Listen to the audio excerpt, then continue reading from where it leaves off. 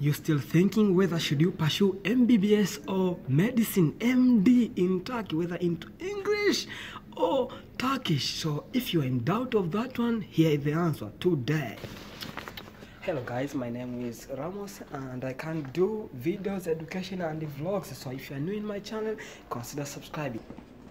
Today's video I wanna just talk about the criteria and what should you consider during selecting the university for MBBS, Bachelor of Medicine, Bachelor of Surgery or Medicine Medical Doctor studying here in Turkey. So for my experience, if you are looking for the university to study here in Turkey, if you really want to pursue MBBS or you want to pursue medicine, medical doctor in Turkey, if you want to pursue it in Turkish language, then I just advise you applying to any university, any Turkish university, and go there, grab your education, and you're gonna thank me later. But if you are thinking of pursuing MBBS or medicine, medical doctor in English, then here's my advice. So go over the website of the university which you want to apply and check the percentage ah. of English they offer to the university. If it is 100%, then I advise you go to that university and you're going to start the whole life without regrets. But if you find the university has less than 100% of English provided, you're gonna face a language barrier. So you remain studying the rest of your studies in regretting, you know. If you find like the university on their system, they just wrote the percentage of English is less than hundred percent, then you're gonna face a language barrier. So get prepared once you're applying to those universities. Get prepared because you're gonna face a language barrier.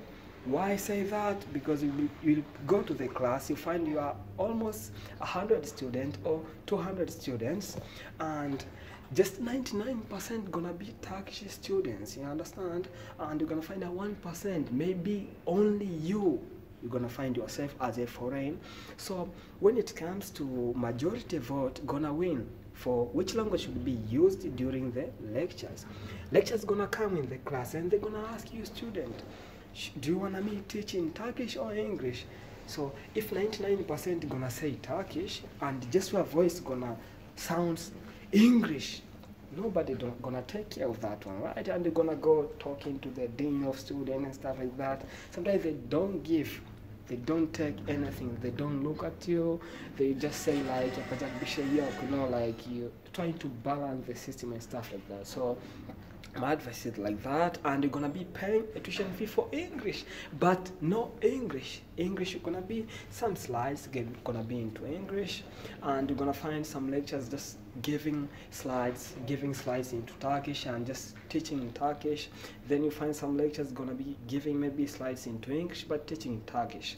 So it will be language barrier and if you want to attend like a turkish course maybe going to the lesson learning some turkish to grab it gonna be merciful for you like studying and understanding the lesson. So that was my advice so that you won't regret studying the whole and the rest of your life here in turkey for mbbs bachelor of medicine the bachelor of surgery or medical doctor medicines don't forget to subscribe and hit the bell down there. Thank you so much. I love you all.